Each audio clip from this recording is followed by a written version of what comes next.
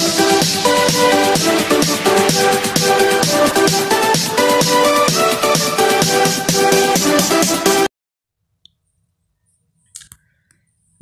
મિત્રો. આજે આપણે ધોરણ દસની અંદર વિજ્ઞાનમાં તમને જે ગાલા અસાઇનમેન્ટ બે હજાર બાવીસ જે તમારું નવું આવ્યું છે, એની અંદર આપણે પ્રશ્નપત્ર ત્રણનો વિભાગ એનું સોલ્યુશન આ વિડીયોની અંદર જોવાનું છે.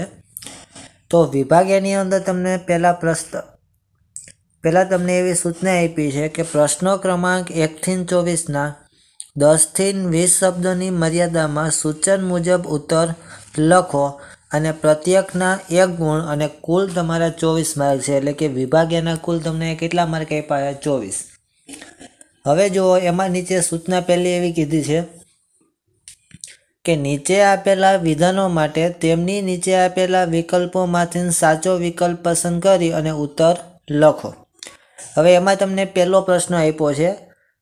અને અહીંયા તમને જે કંઈ નીચે પ્રશ્ન આપ્યા છે, બધા તમારા એમસીક્યુ ટાઈપના છે. એટલે કે નીચે તમને ચાર ઓપ્શન આપેલા છે એમાંથી જે તમારો ઓપ્શન સાચો હોય એને તમારે સિલેક્ટ કરીને લખવાનું થશે.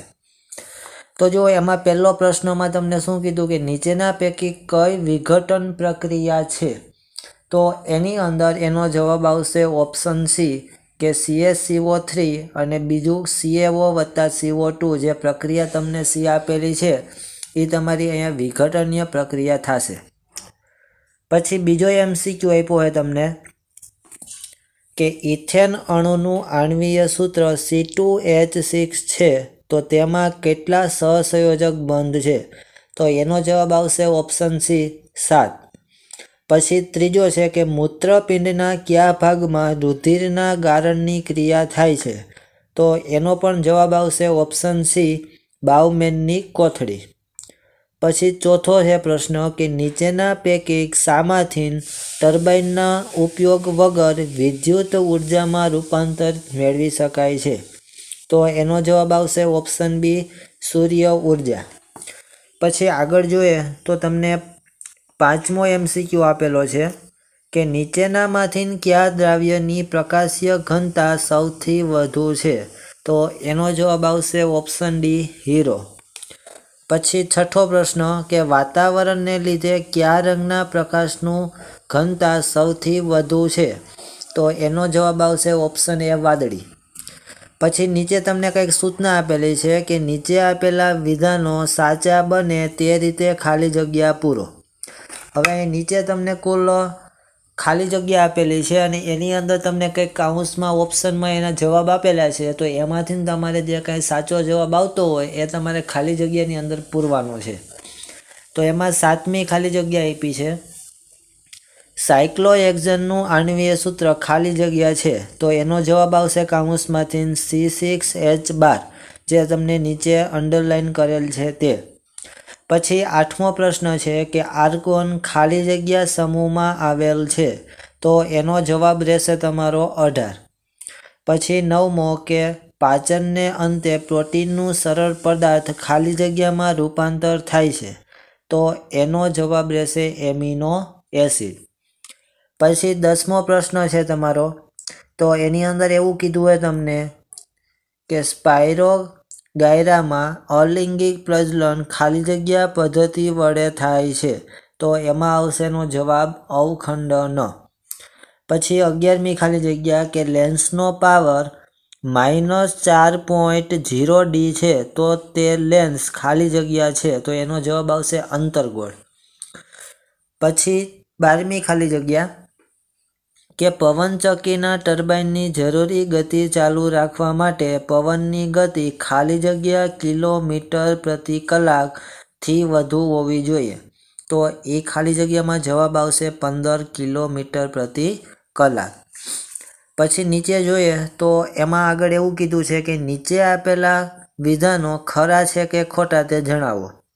હવે એમાં તમને તેરમું આપ્યું છે કે આધુનિક આવત કોષ્ટકમાં તત્વના પરમાણ્ય દળાંકના આધારે રચવામાં આવ્યું છે. તો એનો જવાબ આવશે ખોટો.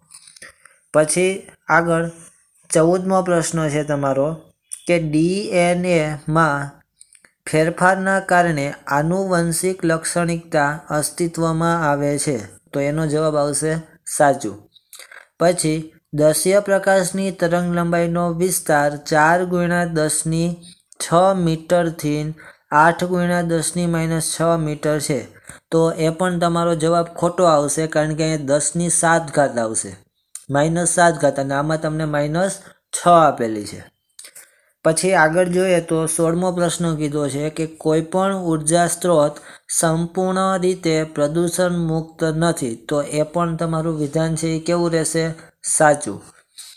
પછી આગળ જોઈએ તો આગળ તમને એક સૂચના આપેલી છે કે નીચે આપેલા પ્રશ્નના માગ્યા મુજબ ઉત્તર લખો. તો એની અંદર તમને સત્તરમો પ્રશ્ન આપેલો છે કે નર જાતીય અંતઃસ્ત્રાવ કયો છે? તો એનો જવાબ આવશે ટેક્ટોસ્ટેરોન. પછી અઢારમો પ્રશ્ન છે કે પક્ષીમાં અગ્ર ઉપાંગ તેમજ ચામાચીડિયામાં અગ્ર ઉપાંગને કયા પ્રકારના અંગો કહી શકાય? તો એનો જવાબ આવશે કાર્ય સંદેશ અંગો. પછી ઓગણીસમો પ્રશ્ન આપ્યો છે, જો ઉંદરોની પૂંછડીને કેટલીક પેઢીઓ સુધી કાપતા રહીએ, તો શું આ ઉંદરો દ્વારા પૂંછડી વગરની સંતતિ પ્રાપ્ત થઈ શકે? અને જો થઈ શકે તો કેમ? અને ન થઈ શકે તો પણ કેમ? તો ના આવશે એમાં.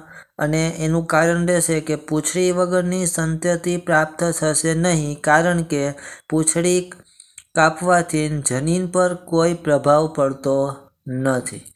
પછી આગળ વીસમો પ્રશ્ન આપ્યો છે તમને કે ચલ અવરોધની પરિપથ સંજ્ઞા દર્શાવો. તો અહીંયા તમને દોરીને આપેલી છે, એ તમારા ચલ અવરોધની પરિપથની સંજ્ઞા આવશે. પછી એકવીસમો પ્રશ્ન છે કે સૂર્યની અંદાજિત ઉંમર કેટલી છે? તો એનો જવાબ આવશે પાંચ અજબ વર્ષ પછી બાવીસમો પ્રશ્ન છે કે વિઘટકો એટલે શું? તો એનો જવાબ આવશે કે જટિલ કાર્બનિક પદાર્થોનું સરળ અકાર્બનિક પદાર્થોમાં રૂપાંતર કરતા સૂક્ષ્મજીવોને વિઘટકો કહે છે. પછી ત્રેવીસમો પ્રશ્ન આપ્યો છે કે કયા વૃક્ષોના વાવેતરથી ઉદ્યોગોને લાભ થાય છે? તો એમાં આવશે જવાબ ચીડ અને પાઇન પછી ચોવીસમો પ્રશ્ન અને છેલ્લો પ્રશ્ન છે આપણો વિભાગ એનો તો એમાં એવું કીધું છે કે આપેલ જોડકું સાચી રીતે જોડો. હવે એની અંદર તમને વિભાગ એ અને વિભાગ બી આપેલા છે.